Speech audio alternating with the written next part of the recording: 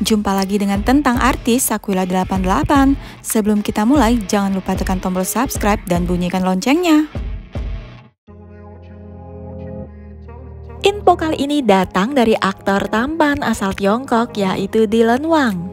Aktor yang juga dikenal dengan nama Wang Hedi ini tengah menjadi sorotan. Pasalnya, drama Love Between Fairy and Devil yang dibintanginya menjadi salah satu drama populer di tahun 2022. Hal itu pun berimbas kepada dirinya yang makin dilirik oleh brand-brand ternama untuk dijadikan juru bicara. Namun tak hanya sampai di situ, kehidupan pribadinya pun tak luput dari pantauan netizen.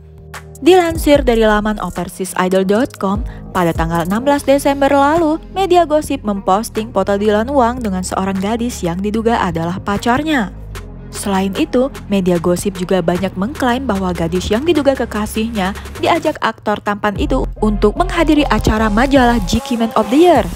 Kabar ini diketahui usai Dylan Wang tertangkap paparazzi bersama wanita itu dalam perjalanannya untuk menghadiri acara tersebut. Sebelumnya, aktor tampan itu juga pernah muncul di bandara pada bulan Agustus lalu dengan diikuti oleh seorang wanita berbaju hitam yang menjadi sorotan netizen.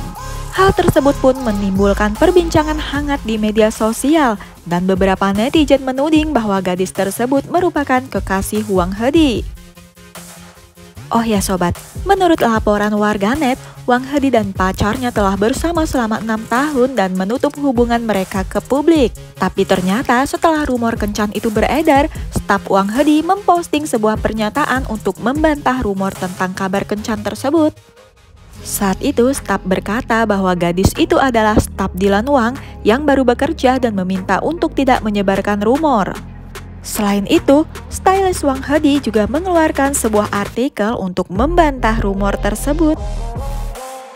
Ia mengatakan bahwa gadis yang menemani Wang Hedi adalah dirinya sendiri, bukan kekasih yang disebutkan di internet. Gimana nih tanggapan kalian sobat?